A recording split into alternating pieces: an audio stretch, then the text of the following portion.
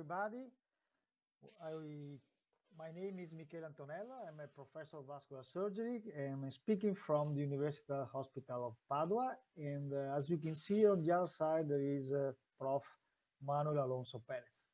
We are both vascular surgeon and um, in this uh, webinar or web seminar, we are going to try to, sh to show you our experience on uh, using cover stent for complex aortoiliac lesion and uh, the real goal will be to to show you to share with you uh, our knowledge some technical tips and tricks that we use. So maybe you can uh, take some something home in viewing our our experience and showing you about a couple of cases. Couple of cases in which we are present you some issues, some technique, uh, some particular problem that uh, we usually face and how we are able to solve them.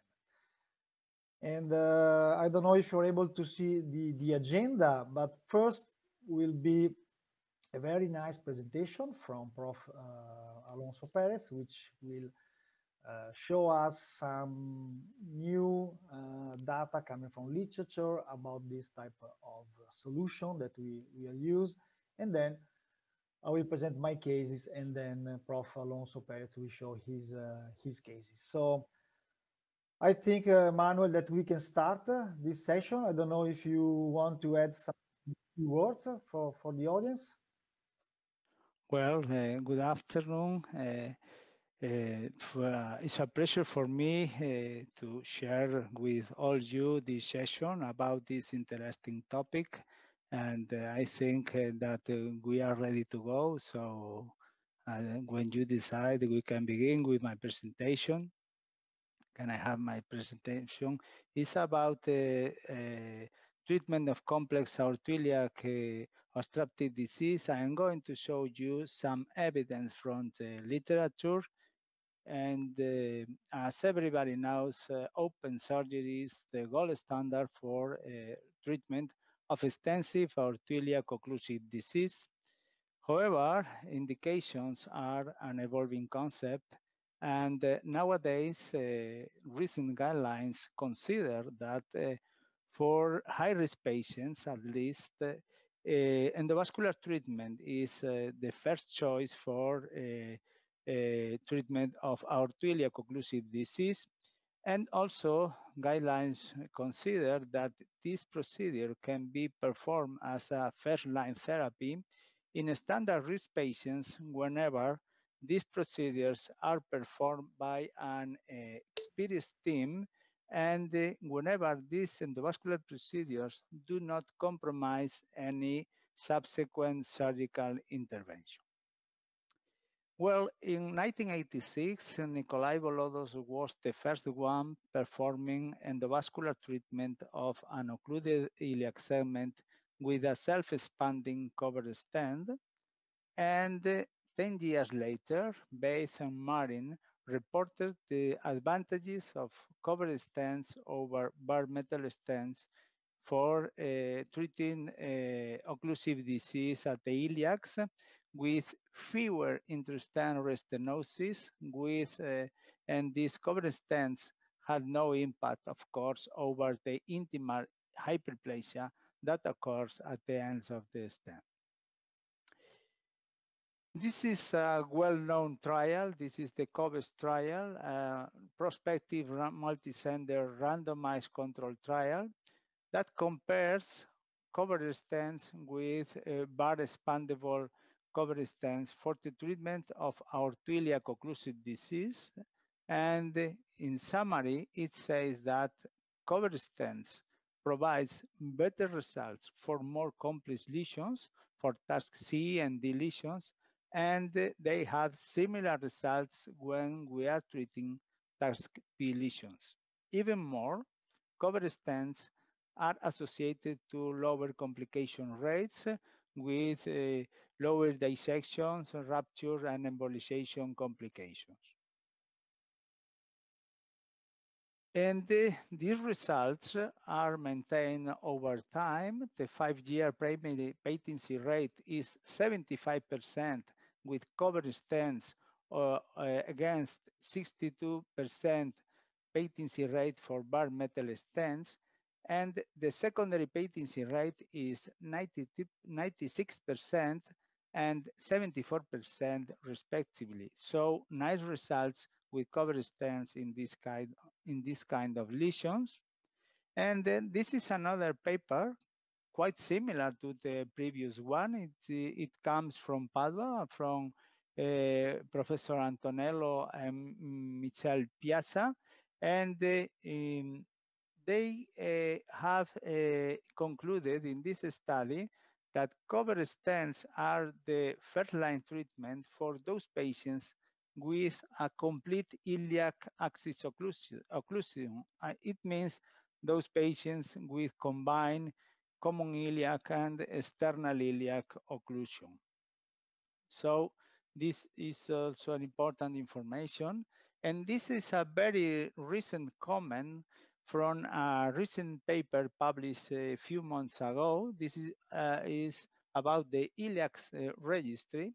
The iliacs registry is a registry performed in Italy, including 11 centers, with the objective to know which uh, is the best covered stent or which is the best stent for treatment of iliac occlusions.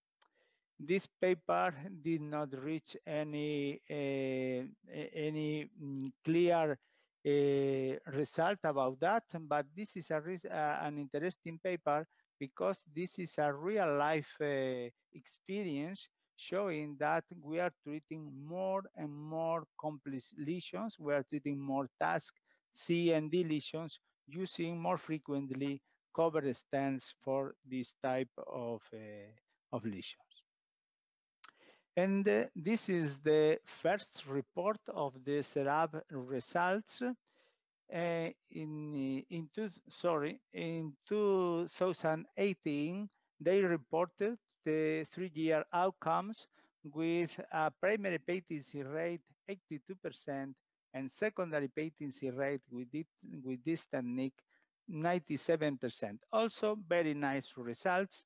And the, same authors reported this very interesting study uh, and the, uh, in the conclusions, they mentioned that CERAB technique could be the best option for reconstruction of the aortic bifurcation. When, uh, well, from my point of view, there is no evidence to say that because it, this, firstly, this is an uh, in vitro study. And secondly, they did not consider a self-expanding cover stent like uh, Viabahn. They just consider bar self-expandable stents, uh, balloon expandable cover stents, and CERAB technique. So the conclusions that we can reach from this study are that kissing bar self-expandable stents has the highest conformation ratio and that the CERAB technique has the lowest radial mismatch. So uh, in order to know what happens in real world with the CERAB technique, the first patient was enrolled in this uh, global CERAB study. And uh, so soon we will have some more information about this technique in the real situations in daily practice. But in any case, I would like to make a comment about this technique and uh, we must take into account that when we are treating patients with CERAB technique, sometimes we are over-treating these patients uh, because we are covering perhaps uh, too much length of the aorta. And in some cases, we are sacrificing some important branches, like uh, we can see in the picture, the inferior mesenteric artery has disappeared after this treatment. On the other hand, uh, very good results has uh, have been reported with the kissing stent technique nowadays. And this is a paper published in Journal Vascular Surgery 2017, comparing aortobifemoral bypass with the kissing stenting technique. And uh, at six years, the primary patency rate, the secondary patency rate, and the freedom from reintervention were similar between these two groups, aorto bifemoral bypass and kissing stenting. So very nice result also with this uh, kissing stenting technique. And even more, an interesting data in this paper is that the only independent predictor for poor results was the presence of critical leg ischemia, not the, the not other uh, variables. And this is the last uh, paper I found uh, about uh, this uh, issue, about this subject. And it comes also from Padua. It's written by Mikel, and uh, it was published last year in Journal Vascular Surgery. They compare open surgery repair with endovascular repair using self-expanding cover stents in low-risk patients with uh, severe lesions, TASC C and D aortoiliac lesions. In 114 patients at five years, the primary patency rate was similar between these two groups, 87% primary patency rate in the open surgery group compared to 81% in the endovascular group. So these authors conclude that in the case of severe aortoiliac obstructive disease in low risk and young patients, endovascular repair can be considered as valid as open repair. However, for female patients, we, we must take uh, some more caution because open surgery remains the, the preferred uh, treatment uh, in these uh, women. We began our experience with endovascular treatment at the iliacs some years ago with these nice results when we began our experience with bar self-expanding stents. And so far, from January to 2015, we have been treating more than 400 cases 113 patients with uh, TASC D lesions were treated were treated during a period of three years from 2015 to 2017 and of them 39 patients had a complete iliac axis occlusion occlusion of the common iliac and the sternal combined and we report uh, midterm results in this paper in Annals of uh, Vascular Surgery we use in these uh, cases kissing stenting in 67% of the cases. We perform uh, common femoral artery endarterectomy in 74% of the cases. I think uh, that this is, this uh, this technical uh, aspect is very important in order to get uh, better patency rates. And we achieve 100% technical success with 30-day mortality 2.6%. One patient died due to severe comorbidities. And the primary patency rate at two years is 94%. The secondary patency rate, 97%. So we are uh, happy with the, our results in these cases using this technology. So to conclude, I would say that uh, the Gold company provides cover technologies nowadays for treatment of uh, severe aortoiliac lesions, TASC C and D lesions. We have the VBX and the Viabahn. The Viabahn is uh, a well-known cover stand since 1996. It has been implanted in more than, uh, 500,000 cases with more than 2,000 publications showing its durability.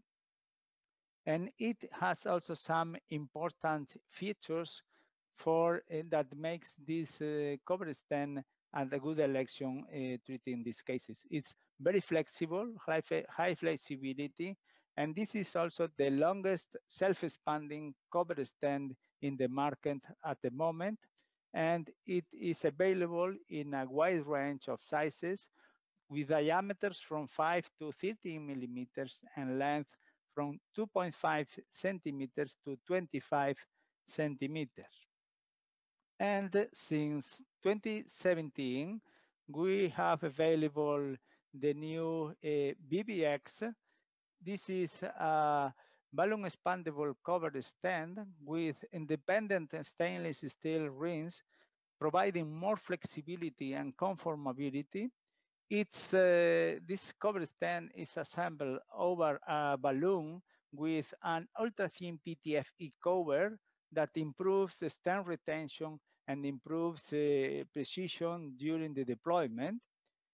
Also, this uh, balloon is a semi-compliant balloon that permits inside to diameter customization that can be very useful in some cases also.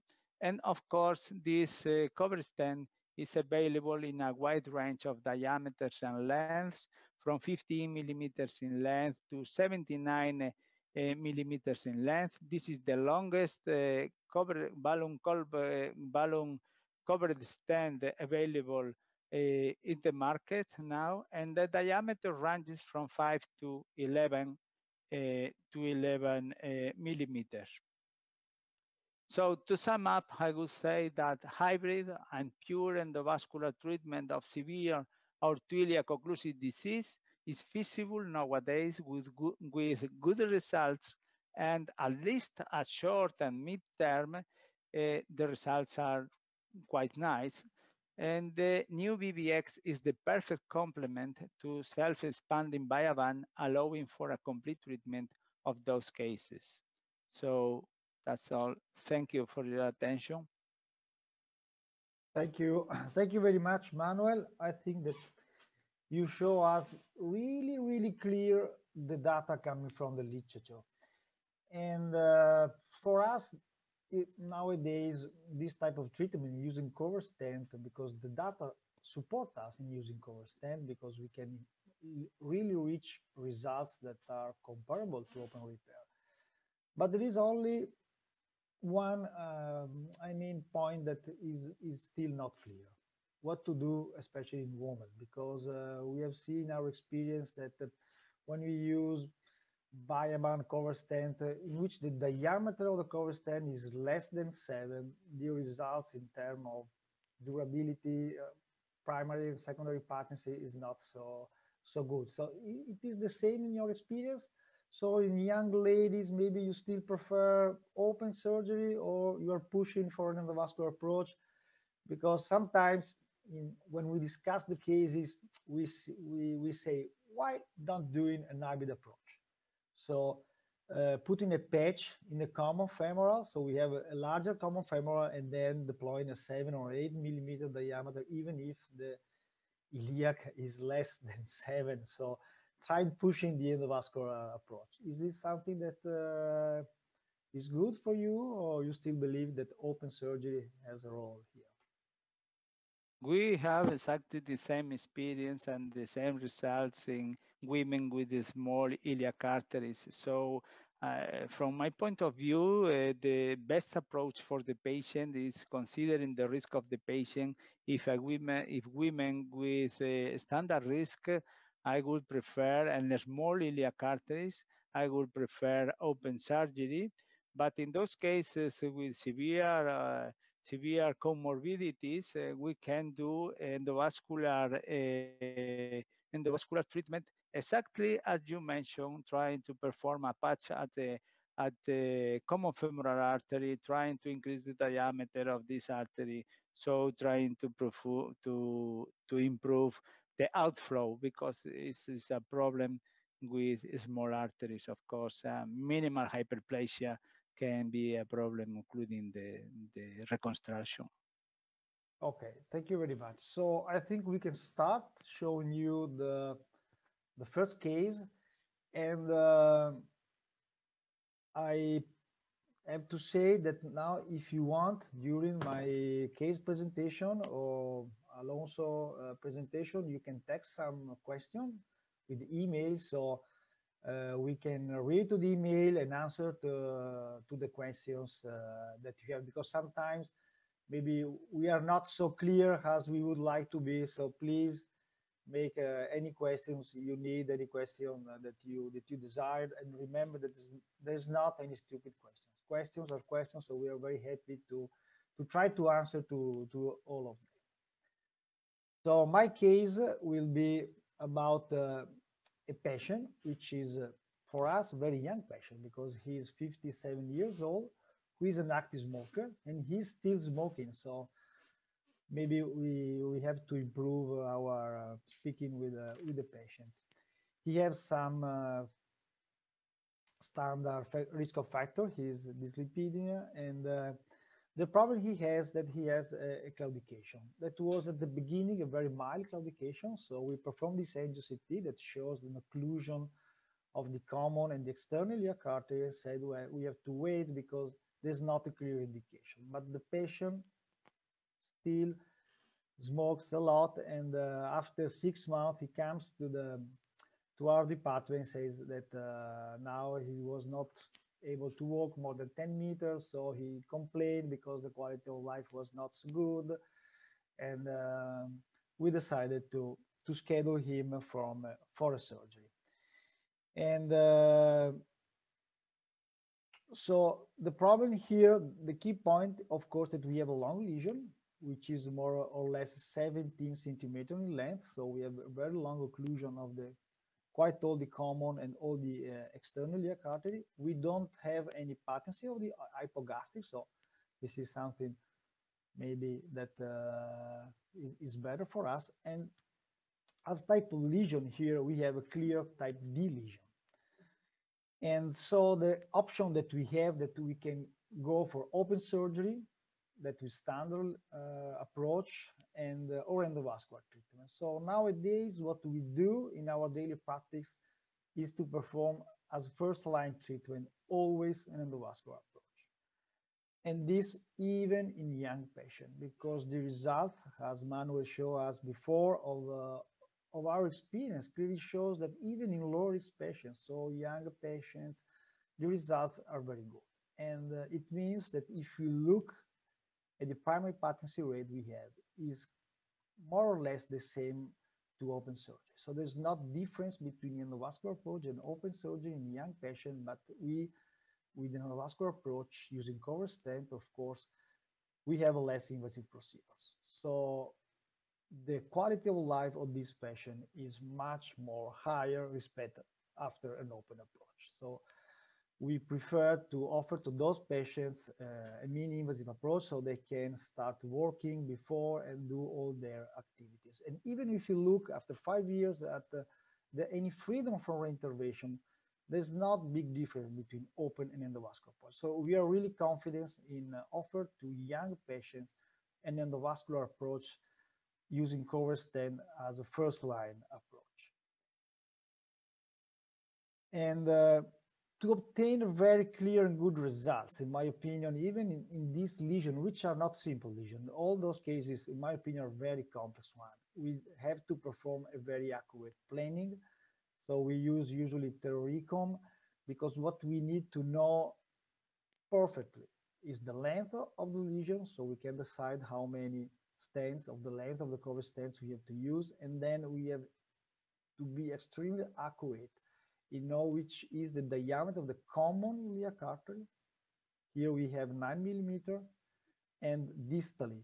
And distally, the diameter is 7 millimeter. So we have only 2 millimeter in, in this match. So we know that when we treat those lesions, we, we have to go from 10 more or less to, to 8 like, uh, like stent graft. Then we have to look carefully at the proximal landing zone where we have to deploy our stent graft pro proximally. Here we have the opportunity to land inside the common because we have a seven millimeter room of common iliac artery, but we do not have so a lot of space where to deploy our stent graft. So in this scenario, our first indication is to use a balloon expandable cover stent because we have to be extremely precise, not to be too much inside the aorta so we can occlude the other, of course, uh, common iliac artery.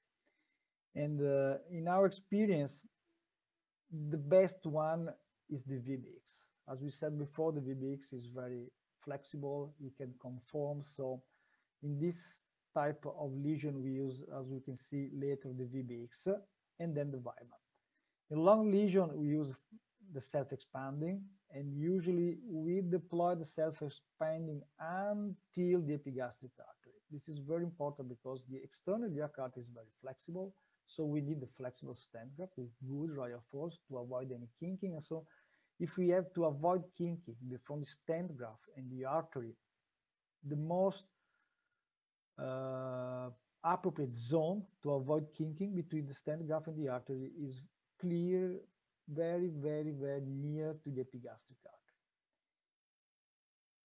Second, the approach we use is, is if we can, a percutaneous approach. So with the angio CT, always look at the, how is the common femoral. The VBX has some very, very peculiar characteristics. First, in my opinion, which is very important, is that the stent graft is very well attached to the balloon. So even in this type of lesion, if we have occlusion, some calcification, it is quite impossible to, to see, to experience any detachment between the stent graft and the balloon before the deployment. And the second one, as Manuel showed us before, that we can shape and customize the diameter of, uh, of our VBX, especially of the 8L, which is the most used in our experience because we can go from 8 millimeter to 16 millimeter. So we can really adapt the diameter of the stent graft into the anatomy of our patients.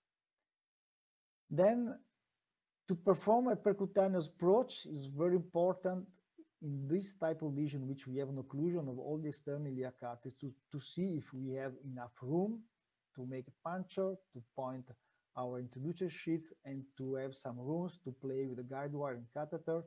And here, so it's very, very important to, to perform an accurate planning. And we have four centimeters of common femoral arteries. So because I don't like to, to puncture the SFA, so usually we puncture the, the distal common femoral artery, and here we have enough room to, to perform a percutaneous approach. So let's see the case. The case start with the echo-guided puncture of the common femoral artery. Then we insert the guide wire, and on the right side we put an eight French sheets, and on the contralateral side we put a six French sheets with a pigtail. So we have all the stuff here now in place to, to start our procedures. First, angel. With the angel we mark, of course, the common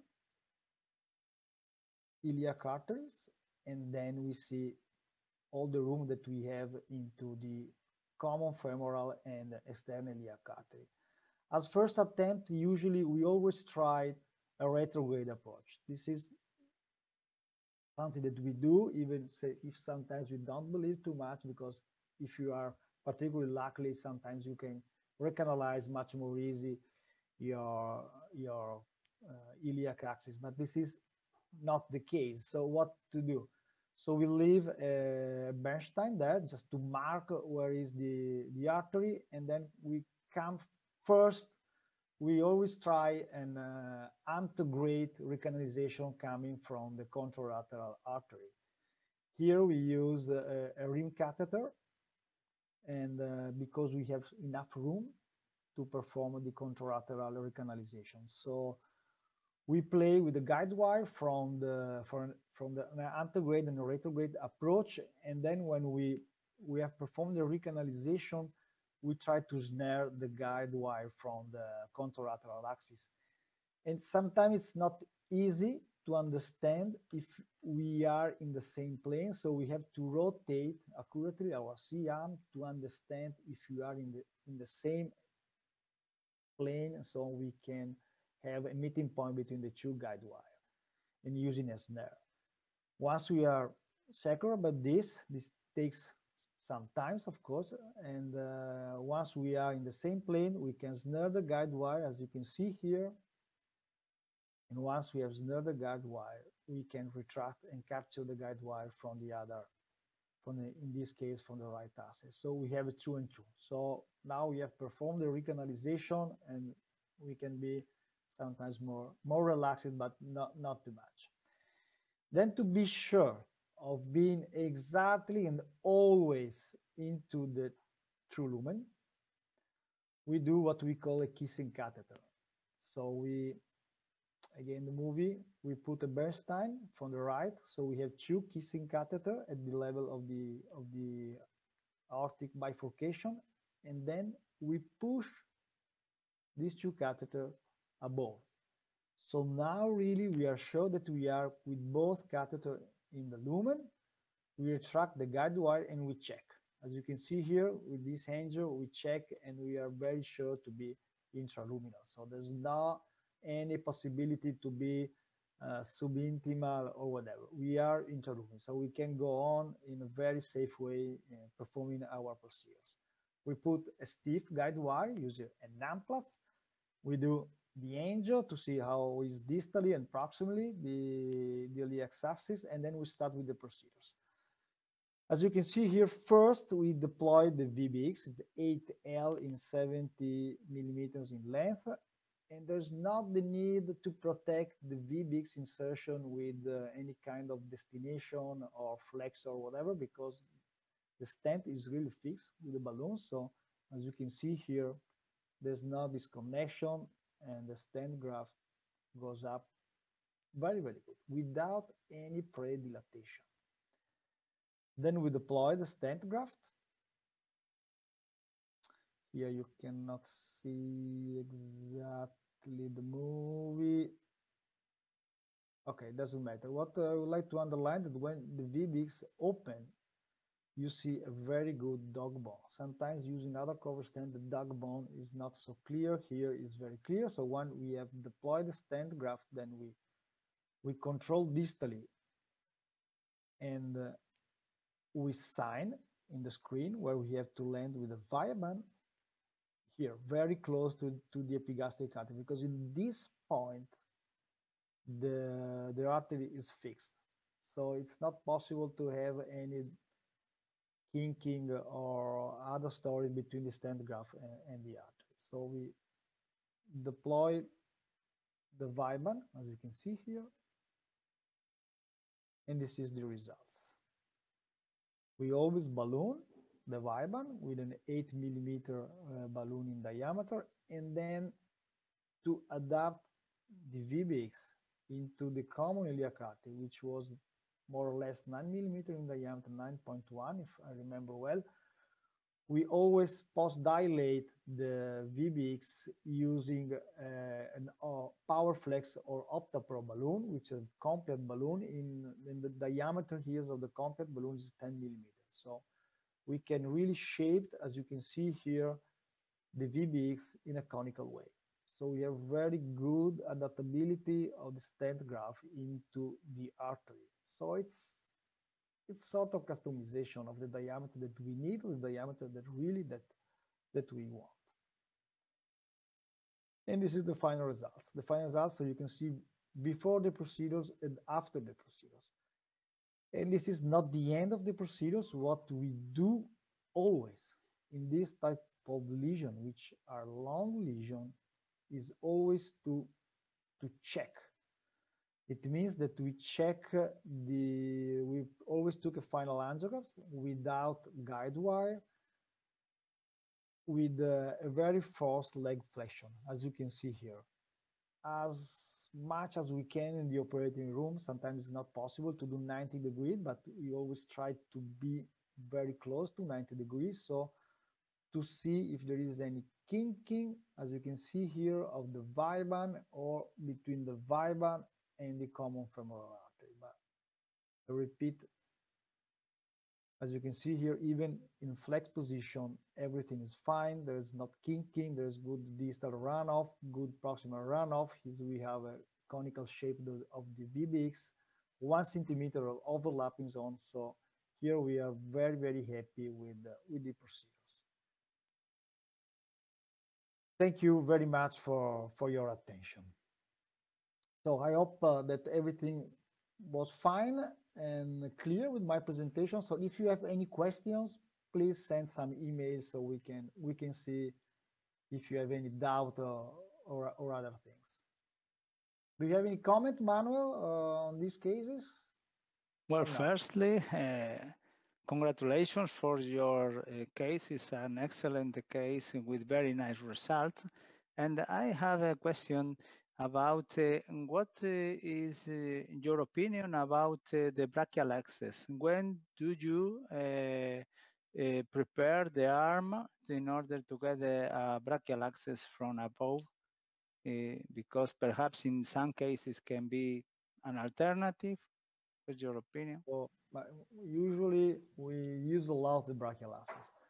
Typically, when we we do not have any kind of small room in the common iliac artery. So if we have an occlusion, a bilateral occlusion, or if we have an occlusion at just at the origin of the common iliac, we prefer to start with uh, with the brachial access because it's more easy to to perform the recanalization from an antegrade approach respect to retrograde because retrograde you do, you do not anything if uh, intraluminal subinter interluminal uh, you see the guide wire everywhere. Sometimes we have made of course some dissection of the distal uh, aorta. So this is not very nice. So we prefer in bilateral lesion or when the lesion is we have less than um, four five millimeters in the common we prefer a brachial access Okay, I think right. that you can go on with, with your case. That's right. Okay. Ready? Well, uh, I'm, let me to show you a video about uh, the vascular treatment of iliac occlusion. This is a 69-year-old male with typical risk factors for atherosclerosis. And uh, he's complaining of uh, left lower limb severe claudication with no improvement despite best medical treatment due to a left iliofemoral occlusion, as we can see here in this Doppler study, with the right patency and uh, left iliac occlusion with an ankle brachial index 0.58. This is the preoperative CT, diffuse calcification of the aorta, more severe at the distal aorta, near close to the bifurcation, huge inferior mesenteric artery, patent, and the occlusion of the left uh, common iliac with severe calcification, diffuse disease of the external iliac artery with calcification. The right iliac axis has calcification with no severe stenosis, and the left common femoral artery, some plaques, severe calcified plaques uh, with severe stenosis. The femoropopliteal sector is uh, quite nice, uh, some plaques with no severe stenosis.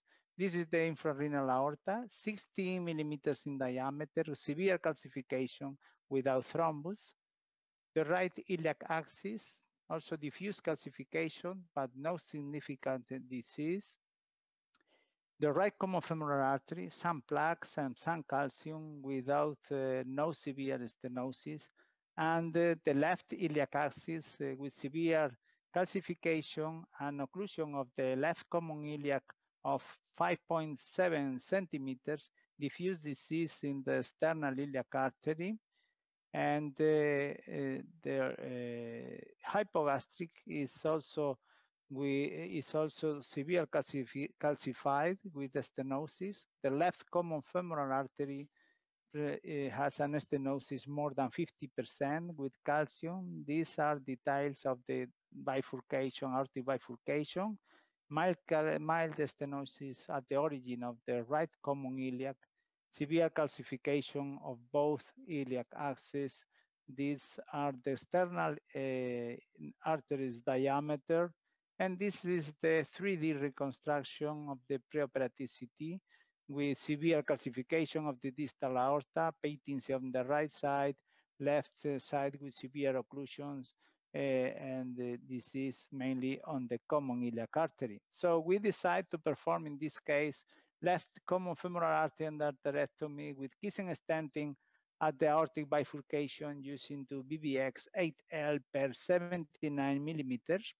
And uh, completing the procedure, we deploy uh, a Viabahn 8 per 150 millimeters, covering all the length of the axis down to the common femoral artery. So we prepare both groins with open exposure on the left side. And we try initially, as it uh, has already been mentioned, we try a retrograde recanalization without success in this case. But this is the first step. We try to go intraluminally, of course, but uh, it was not possible. So after several attempts, we moved to the right groin with puncture of the common femoral artery, performing an angio, and uh, tried an antegrade recanalization from the contralateral side. We can see severe calcification of these vessels. We can see here there's a small stump on the left common iliac and a mild stenosis at the origin of the right common iliac. So we try first uh, an antegrade recanalization using the Omniflush catheter. It was uh, unsuccessfully this attempt because the uh, Omniflush is a very soft catheter. So we exchanged this catheter for a SIM1 catheter, a stiffer one, and uh, it uh, didn't work either. So we tried several times. We exchanged the same catheter for another catheter, Shepherd hook, the same problem. It was unsuccessful, this attempt. So we decided to go back to the left groin and perform a retrograde uh, recanalization attempt. Uh, we in this case we are going subintimally and we can see how it's impossible to go into the aortic lumen. We can see the movement of the calcified aorta and both iliacs with the multipurpose wire pushing upwards. The guide wire is uh, subintimal. These uh, these arteries are dissected. So we decide to use uh, a reentry device, in this case, the Outback, over an O14 guide wire, and easily we go into the uh, aortic lumen. But we have the problem because uh, we are going with a multipurpose catheter over an O14 guide wire, so the hole is very small, the, the bifurcation is calcified, we predilate with a PTA balloon four per 40 millimeters. And then easily we go with the multipurpose inside the aortic lumen over the uh, Terumo wire. We exchange the Terumo wire for Amplatz and we go upwards with the with the wire. We can see the Amplatz wire and the common femoral artery with severe calcified lesions. We perform endarterectomy as usual. We close uh, this uh, endarterectomy with a patch. And this is a maneuver, maneuver that uh, we use sometimes. It can be helpful and very comfortable. We go through the patch with uh, the Amplatz uh, guide wire and it's very comfortable uh, when we are deploying the stents uh, without uh, any problem. So it's very useful. We can use it or not, but it's a possibility. Now we are finishing the, the, the closure of the endarterectomy, and we usually leave a radiopaque marker at the proximal level of the endarterectomy. It's very easy to see it during the deployment, the, the deployment of the cover stents. And we go with an eight French uh, introducer, introducer sheath into the distal aorta for in order to deploy the to VBX 8L uh, per 79 millimeters using the kissing stent technique. The behavior of this uh, VBX uh, in this uh, position, in this severe calcified aorta, is very good, as, as we can see here in this picture. And completing the procedure, we decide cover all the length of the left uh, iliac uh, axis down to the femoral uh, above the epigastrix with the self-expanding Viabahn. We post-dilate all the iliac axis with the 8 millimeters PTA balloon and check for an adequate uh, dilation.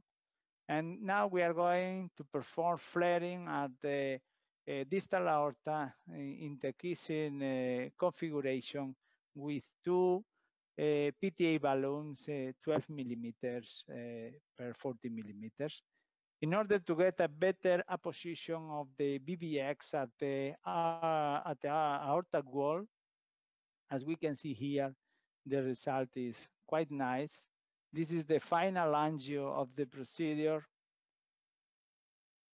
After removing, in any case, always after removing, after removing the introducer sheath from the left groin, we check uh, with contrast that everything is okay in order to uh, assure uh, a good outflow. We perform percutaneous closure on the left side and a standard closure of the open groin. And uh, this patient was discharged on the third postoperative day with dual antiplatelet therapy and uh, atorvastatin and uh, he had bilateral uh, distal pulses and normal ankle brachial index. In, in this case, this is a detail of the postoperative CT with a nice apposition of the Viabahn in this calcified aortic bifurcation, right iliac axis, left iliac axis, very nice uh, result also with no any problem at the distal end of the stent and, uh, and the 3D reconstruction of this procedure. So we are quite happy with the final result. Uh, thank you very much uh, once more for your attention. We have some questions from coming from from the internet, uh, but before uh, before I would like to to ask you um, a couple a couple of questions. First, in, in this case, you perform a kissing stent. So even if there is maybe the room to deploy the stent graft just in the left iliac axis without why you you choose uh, a kissing configuration because you are you want to treat also the other stenosis or because of some calcification of the aortic bifurcation that sometimes you can make some disruption. So you protect the bifurcation with the kissing configuration. Well, I think that there are two reasons. Uh, the first one is that we have a mild stenosis on the right side, so we decide to to to do this uh, this technique. But also sometimes uh, when we mm, want to eh, preserve eh, the just one iliac eh, axis without kissing, we found that when they mainly when there is a thrombus at that level, uh, the results could be not so good because as you have mentioned, when you perform uh, just treatment of uh, an isolated ax ilia axis, you must be sure that you are deploying the, the stent graft uh, very close to the origin of the iliac where there should not be any lesion, thrombus, or any problem. The, on the other hand, uh, this patient had severe calcification of the distal aorta, so we decide to do that. Perhaps uh, other option could be possible, but in our experience, it's better to do that. So we go ahead with that. No, no, I fully, I fully agree with you, and uh, I think that we don't have to to have the fear to perform a kissing configuration because uh, one of the key points, in my opinion, when we perform those type of procedures is to protect the aortic bifurcation, to reconstruct the aortic bifurcation with kissing stent, in which we are going to publish some data, but with the kissing configuration, with the molding, as you, you show that the results, even in the geometrical configuration, is wonderful. And then you protect the aorta, your aortic bifurcation, and you have a really wonderful inflow site. So this allowed us to have very good long-term results. I have another question that comes from the from the internet, uh, especially when we have severe calcification. Sometimes we, I always over balloon the Viabahn to be sure that the Viabahn expand uh, very well. But uh, even if we look in more than one pro projection, sometimes we have some residual stenosis. So if we have money, we when when we can we use IVUS to see if the the stent graft is fully uh, expanded or we use to see the to measure the blood pressure all along the stent graft so if we we see any drop of the blood pressure more than 15 we use a um, non-compliant balloon to expand uh, the Viabahn uh, a little little more. I don't know which is your experience, uh, what you do to in very severe calcification, how to check after the procedures if the, the Viabahn or the cover stent you use is fully expanded. Yes, uh, this point uh, you mentioned is very interesting because I think it's a very important message message uh, to to say that uh, it's not enough to just one projection to check the correct uh, uh, opening of these arteries because it depends it it's, uh, it depends mainly on the uh, characteristics of the calcification. Sometimes you have mainly an intraluminal calcification. Others, uh, in other occasions, you have a, a calcification of the arterial walls. So I, this is difficult, this is different, but of course, I think that you should check the final result uh, with some of these uh, techniques you have mentioned because uh, it's surprising sometimes that you have occlusion of reconstruction that you thought it was okay, but really something happens because the patient had a problem. Okay, another couple of questions for you that comes always from, from the audience. When you perform and deploy the, the VBX, usually in calcified lesion, you predilate them or not? And second question is, are you afraid in using a 12 millimeter balloon to post-dilate the VBX into the aorta or not? Well, um, first, uh, uh, with re regarding uh, the, the 12 millimeters balloon, I'm not uh, worried about that because we calculated the area of the aorta and the area of the two uh, Viabahn, the diameter of the two Viabahn. So the diameter of the two Viabahn in this case was uh, approximately the same than the, the, diameter of the aorta. So we were not worried about that. And uh, regarding the first question you mentioned, if you predilate uh, the iliac oh, axis yes. or not? Uh, depends uh, because uh, if there is a severe calcification, I think that you should uh, predilate. But however, if you have a great amount of thrombus, if you predilate, you can have embolization. So in those cases, I leave a big uh, introducer sheath distally in order to avoid the uh, distal embolization when we are going percutaneously. Of course, when we, when we perform these procedures uh, in an open fashion, this is not a problem. Is it uh, right to say that this is a question that uh, also in your case, but when we have a severe calcification, to have a more stable uh, um, procedures in terms of stability of the catheter, the brachial access could be more useful, or maybe using a steerable catheter from the contralateral, or not? Really, in my in my experience, uh, uh, few few cases I use the brachial access in this uh, the brachial access. I uh, always try to perform it from below initially in a retrograde fashion. Usually I don't go, this is a, my trick, it works sometimes. I don't go with, the with the guide wire uh, very high at the level of the bifurcation. Before reaching the bifurcation, I remove the wire and go with a curved catheter, vertebral or something like that, in order to get to the to the aortic lumen. And many, many times I I I get uh, the aortic lumen.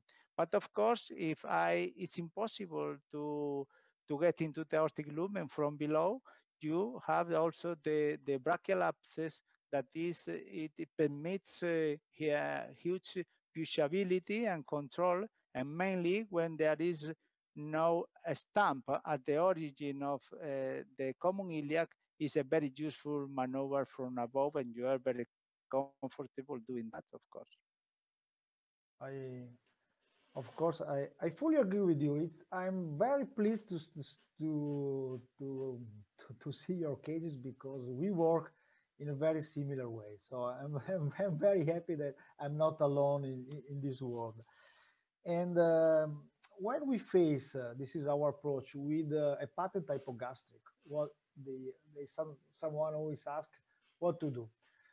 First, uh, we always try to preserve the hypogastric. So if we need, especially to preserve the hypogastric, we do a combination of, of materials. So we do VBX, bare metal stent, and then Viabahn. So we try to preserve the hypogastric. But this is something that's very important for, I say, my our brain. But in most of time, when we we balloon the iliac axis, then we have plaque that are close to the origin of the, of the hypogastric. Maybe we preserve with the bare metal stent the hypogastric, but in a couple of months, three months, four months, there will be many time occlusion of the hypogastric. So nowadays, if we have severe calcification, we cover the hypogastric.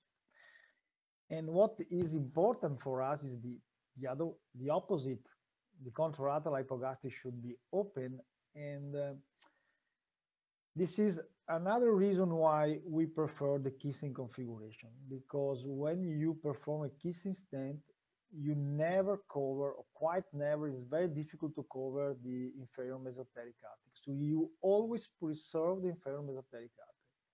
If you do routinely setup, it's much, much more easy to cover the inferior mesenteric artery. So you can have a closure of the inferior mesenteric artery and closure of the hypogastric artery. So there you can have some problems. So this is our now behavior. We we cover the hypogastric and with the kissing we preserve the inferior mesenteric artery. I don't know if it's the same for you. Yes, I completely agree. I I feel very comfortable when you looking at your face when you were talking about uh, leaving a, a bar stand uh, at the origin of the hypogastric with uh, cover stents uh, in the common and in the external.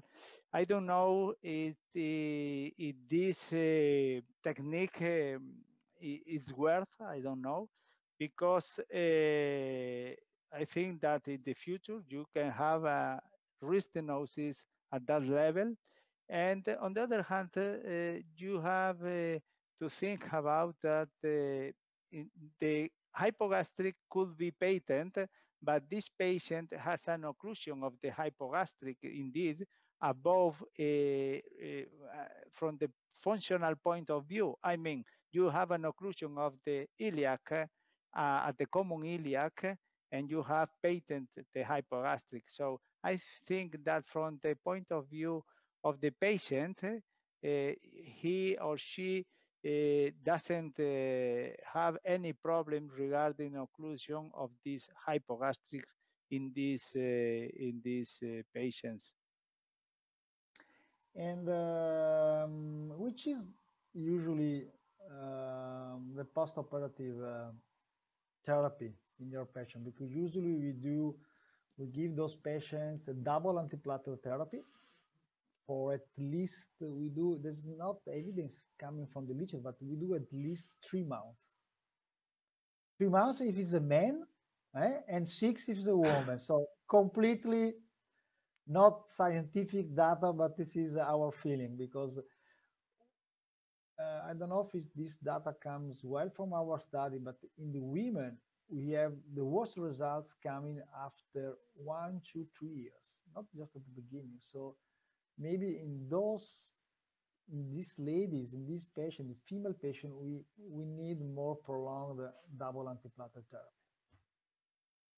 Really we don't know because indeed it, if the occlusion is at long term i don't know if uh, really the the antiplatelet therapy is the reason and regarding the postoperative treatment, I think that is uh, like in any other treatment that we use in vascular surgery, we don't have any evidence about the postoperative treatment of these patients.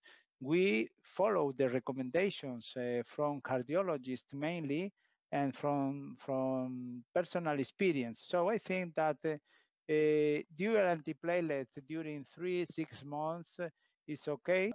Than one ask us uh, uh, if we have any indication for a surgical cut down of the femoral artery. So what we do now is whatever when we can we, we go always percutaneous but as uh, manuel clearly show us in more than 50% of cases of our experience we have lesion of the common so if we have a lesion of the common and the stenosis is more than 50% of the diameter of the common femoral, we do an endarterectomy with patch.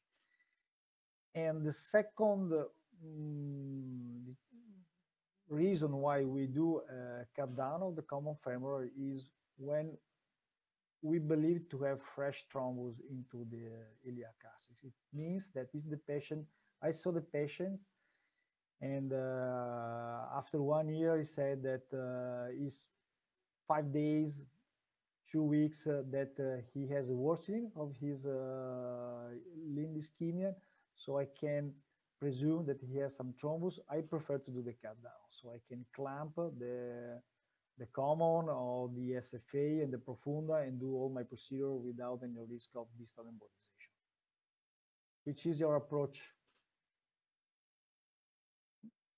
the same? Well, I think I think that many of these patients uh, have a, a, common femoral artery disease, and in those cases, uh, you need to to to get uh, a better outflow. So in those cases, uh, we we perform open. In many of our cases, we perform open uh, exposure and endarterectomy.